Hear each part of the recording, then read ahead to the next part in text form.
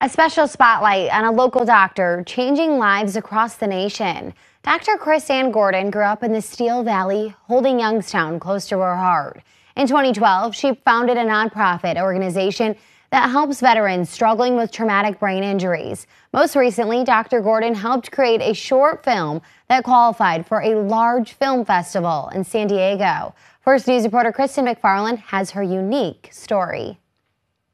Dr. KrisAnne Gordon grew up in Youngstown, attended school at Cardinal Mooney, and later went to medical school at The Ohio State University. I love Columbus, don't get me wrong. I mean, I really love the community, but my roots are in Youngstown, and my best supporters have always been from Youngstown as well. Dr. Gordon suffered a traumatic brain injury in 1996, leaving her unable to walk and talk for some time. With the help from her strong support system, she was able to heal and in that moment realized her mission and purpose.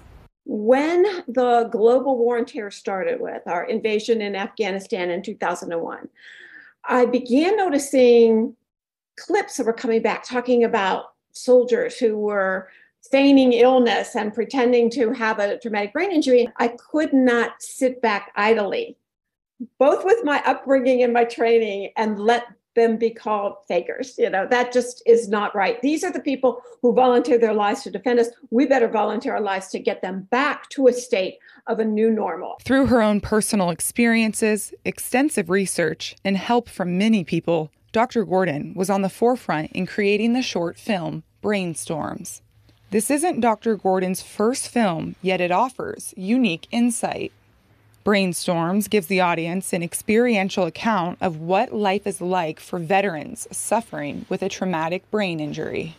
The biggest issue that we all have is awareness to get the nation on board. And I really think that our nation is hungry for a cause.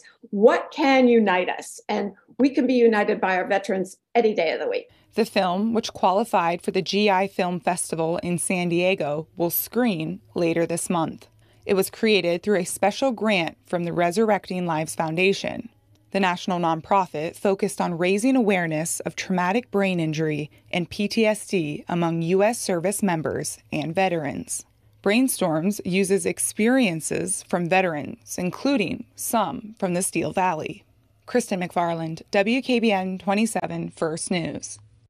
Hi everyone, I'm Lindsay Watson. Thanks for watching the WKBN 27 First News YouTube channel. If you want more video news, subscribe to our channel and don't forget to download the WKBN 27 First News app for breaking news alerts.